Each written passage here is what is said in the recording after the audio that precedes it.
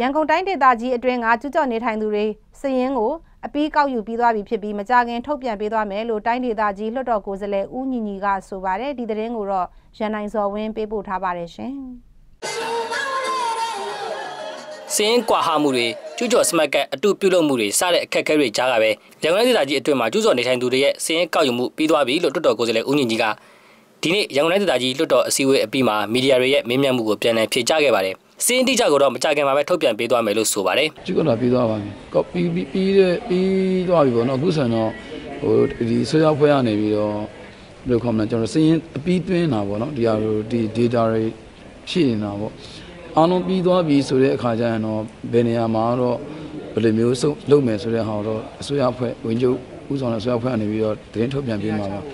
အေးအားလုံးပြီးသွားရင်တော့ဘယ်နေရာမှာတော့အစာအုပ်ဘယ်လောက်လုပ်မယ်ဆိုတဲ့ဟာတော့ထုတ်ပြန်ပေးမှာပါ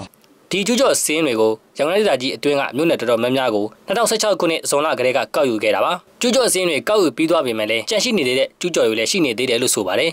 အချို့လည်းပဲကျွန်တော်တို့မြို့နယ်မြို့နယ်တွေမှာကြံခဲ့တာတွေရှိပါတယ်တကယ်ကိုမရှိလို့ကျူးတဲ့သူတွေမှာဒီအုတ်ချွေပန်းနေပြီးတော့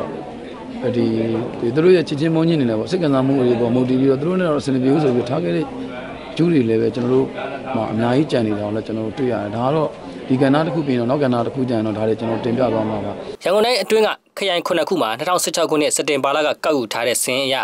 မြို့နယ်73ခုမှာကျူးကျော်အင်ဂျီတသိန်းကျော်အိမ်တော်စုတသိန်းကျော်လူဦးရေ၄သိန်းကျော်ရှိတယ်လို့ရန်ကုန်တိုင်းဒေသကြီးအစိုးရအဖွဲ့ကထုတ်ပြန်ထားပါတယ်ကျွန်တော်ကတော့ရန်နိုင်ဇော်ဝင်းပါ